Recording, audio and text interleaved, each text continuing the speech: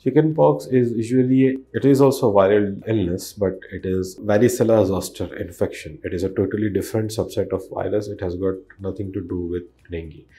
However, uh, varicella zoster infection usually, you know, occurs in very immunocompromised patients. And especially as you can see in this scenario, it's a very senior citizen. So elderly people have a low immunity levels and because of that the spread is very faster. And this disease is very contagious as well. So the incubation period varies from 7 to 14 days. So that time it is of very high spreadability and uh, contagious. Isolating oneself would be an ideal method to you know stop the chickenpox disease. And vaccination as well. The chickenpox vaccination is also available right now